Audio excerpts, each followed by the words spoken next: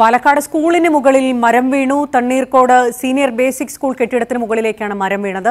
സ്കൂളിന് സമീപത്തെ സ്വകാര്യ ഭൂമിയിലെ തേക്കാണ് കടപുഴകിയത്. സ്കൂൾ തുറക്കും മുൻപായതിനാൽ ഒഴിവായത് വലിയ ദുരന്തമാണ്. ഹാത്തിഫുണ്ട്. ഹാത്തിഫ് വിവരങ്ങൾ.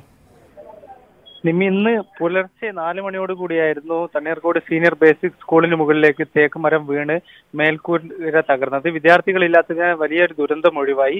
സ്കൂളിലെ ഒരു ക്ലാസ് മുറിയുടെ മുകളിലേക്കാണ് മരം വീണത്. രാവിലെ സ്കൂൾ വൃത്തിയാക്കുന്നതിനായി എത്തിയ ജോലിക്കാരിയാണ് തൊട്ടടുത്ത പറമ്പിലെ തേക്ക് കാടപ്പുഴയ്ക്ക് സ്കൂളിന് മുകളിലേക്ക് വീണ നിലയിൽ കണ്ടത്. ഇതേ തുടർന്ന് ബന്ധപ്പെട്ടവർ സ്ഥലത്തെത്തുകയും വിദ്യാർത്ഥികൾക്ക് ഇന്ന് അവധി പ്രഖ്യാപി പ്രഖ്യാപിക്കുകയും ചെയ്തിരിക്കുകയാണ് നെമ്മി. ശരി ഹാത്തിഫാണ് വിവരങ്ങൾ നൽകിയത്. മഴയിൽ പലയിടത്തു നിന്നും ഇത്തരം റിപ്പോർട്ടുകൾ വരുന്നുണ്ട്. അതുകൊണ്ട് തന്നെ ആളുകൾ ജാഗ്രത പാലിക്കേണ്ടതുണ്ട്.